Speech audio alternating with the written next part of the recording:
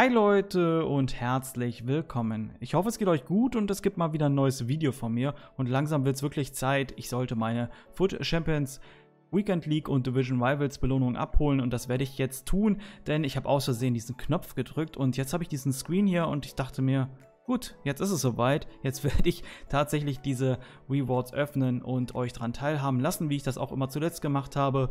Deswegen, ja, gehen wir direkt rein. Äh, ansonsten, was gibt es noch zu berichten? Es lohnt sich ja eh. Also ich wollte es gar nicht so lange mehr hinauszögern. Wir haben das äh, Record Breaker Team drin. Wir haben äh, das Best of Team of the Week.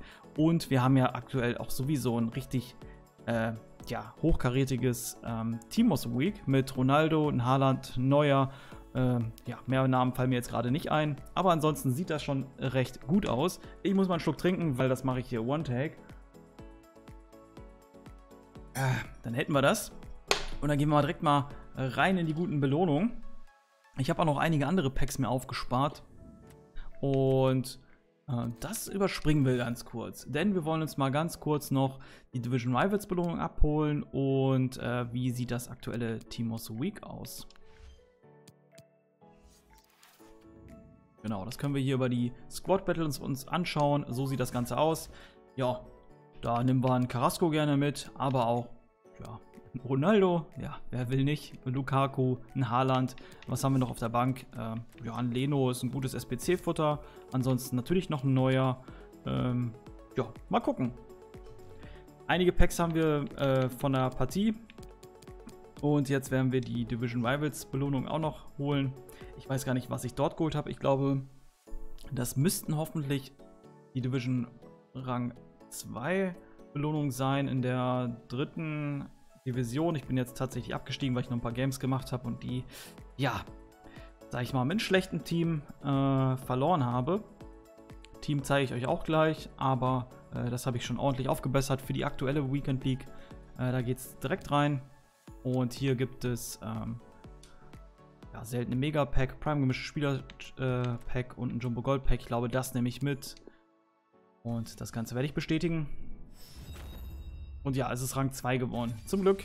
Da habe ich noch ein bisschen Rivals gegrindet, weil ich, ich glaube, auch nur 14 Siege gespielt. Das heißt, Gold 3 ist es geworden, aber muss ja nicht mehr machen, als von einem verlangt wird.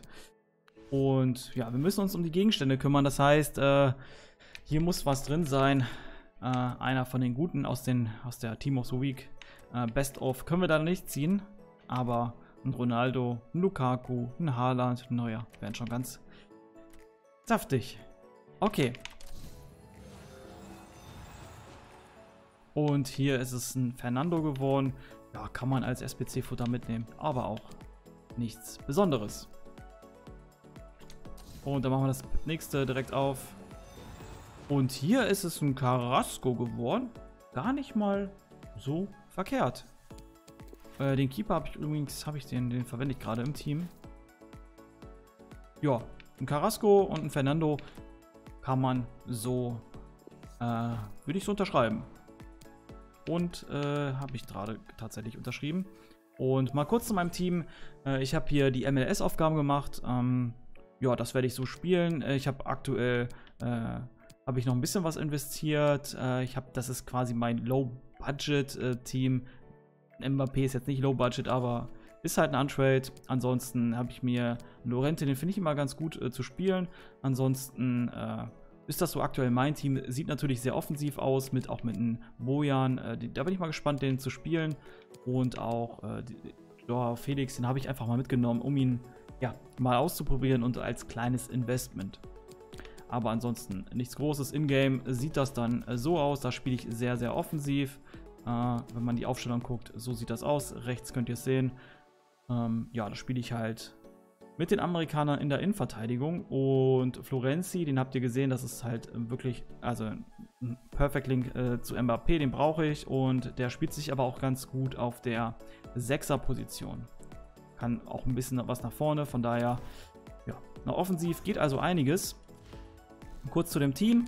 Ja, und wir gehen mal rein in die Packs. Wir schauen erstmal, was wir da so haben. Da haben wir zwölf Packs an der Zahl. Uh, einige Megapacks habe ich da gesehen. Drei Stück. Seltenes Megapack haben wir auch noch.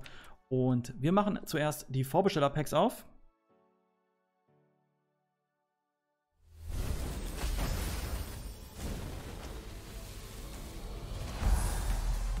Und als erstes erhalten Javi Martinez.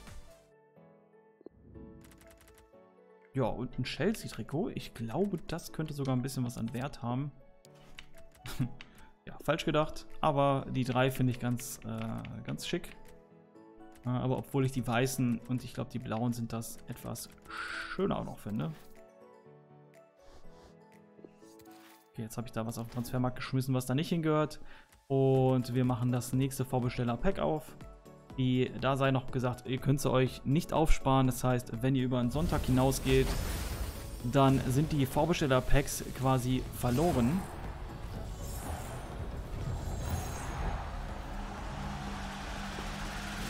Banega haben wir. Ja, nehmen wir natürlich auch mit. Da war noch ein Shadow dabei, ich gesehen. Ein Manager. Ja, habe ich auch schon. Ich habe ja noch ein bisschen Platz auf der Transferliste, von daher ist das in Ordnung. Okay, und jetzt können wir eigentlich der Reihe nach gehen. Äh, ich mache hier noch das Prime gemischte Spielerset auf.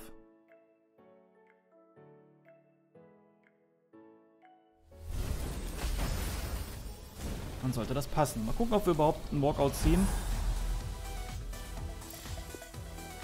Ansonsten bin ich schon mit der Spielerauswahl schon sehr, sehr zufrieden. Ein Dortmund-Spieler habe ich gerade gesehen, den sollte man verkaufen, wenn man es kann. Ein Köln-Spieler war da auch noch, weil die sind aktuell in die Top-Partien vertreten und ja, können ein paar Coins auf jeden Fall mitbringen.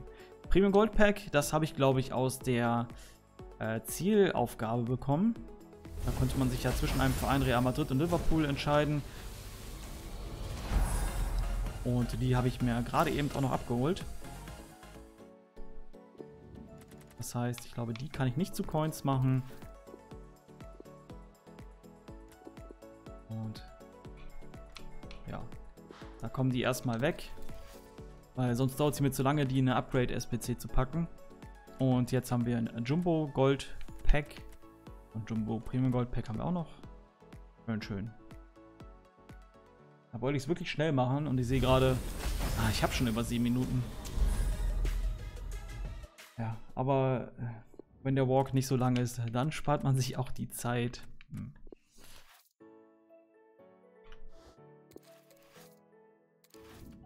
Jumbo Gold Pack als nächstes.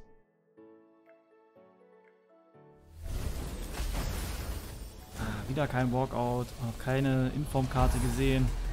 Na, schade. Und den habe ich schon das zweite Mal tatsächlich gesehen. Auch hier erstmal nichts dabei. Die können auf den Transfermarkt. Die bringen uns gerade ein paar zusätzliche Coins.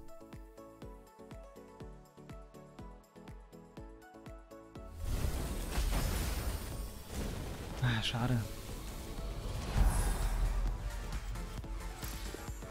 Anthony.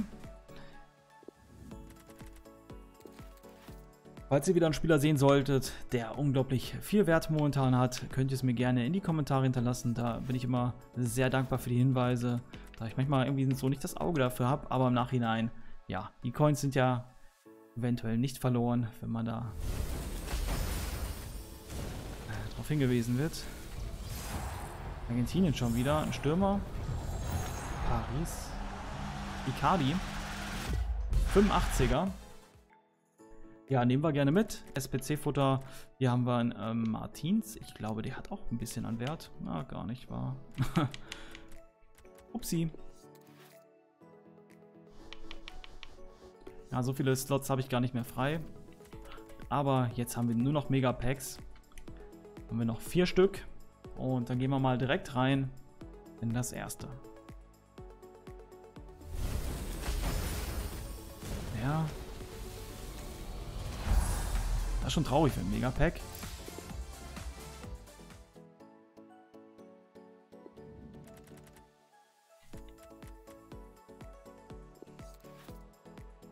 Turam.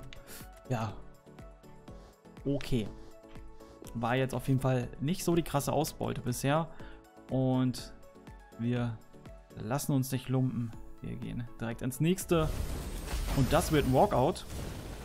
Na, das ist eine Champions League Karte. Brasilien. Linker Verteidiger. Tello. Ja, den, oh, nein, den habe ich schon. Tellis. Hoffentlich sei bitte verkaufbar. Dann bringt er nämlich Irgendwie 10k oder so. Und ich wette, der ist jetzt bestimmt untrade. Nein, sind sie nicht. Voll gut. Ja, das ist doch klasse. Hm, Tottenham Vereinshymne. Könnte was bringen. Und Polen-Trikot. Da bin ich mir jetzt gar nicht so sicher. Nee. nee. Und tschüss. Die Slots brauche ich noch da oben. Und direkt rein ins nächste Megapack. Ja, Telles. Und 10k nehmen wir mit. Aber ich glaube, damit habe ich meine Walkout-Chance vertan nun. De Jong, ist das De Jong? Er war mal was wert. Back-to-back -back 85er. Da will ich mich jetzt auch nicht beschweren, aber ich glaube, der hat nicht mehr so den Wert. Ja, ich denke mal so 12.000. Ja, vielleicht warte ich da ein bisschen, aber hier auch mit Godin, gutes SPC-Futter. Äh, das ist auch mal wieder so ein Pack, was so 15.000 ungefähr an Coins bringen sollte. Hier haben wir noch einen 83er, auch momentan sehr beliebt. Und da machen wir das letzte Pack auf und damit kann ich mich auch ja, soweit erstmal verabschieden. Ihm habe ich gezeigt. Äh, meine Red Player Picks. Und dann haben wir jetzt schon wieder einen Argentinier und lass es nochmal der Higuain sein. 83. Ja. Und ein Perisic, den haben wir auch noch dabei. Ein Kruse und ein Old Trafford. Was hat das eigentlich für einen Wert? Gar keinen Wert. Und das habe ich auch schon doppelt. Von daher kommt das weg. Und ich bedanke mich hier an dieser Stelle, dass ihr es bis hierhin ertragen habt, diesen schlechten Packluck ja, zu folgen. Und äh, wenn euch das Video gefallen hat, dann würde ich mich sehr über einen Daumen nach oben freuen. Und falls ihr vielleicht zukünftige SPCs, guckt da gerne mal. Da gab es einige interessante SPCs in der Vergangenheit. Ähm, schaut gerne vorbei und vergesst nicht zu abonnieren. Das ist kostenfrei. Und ja, dann verpasst ihr zukünftige SPCs nicht. Und in diesem Sinne, reingehauen, wieder schauen. Peace! Player Picks waren gar nicht so scheiße.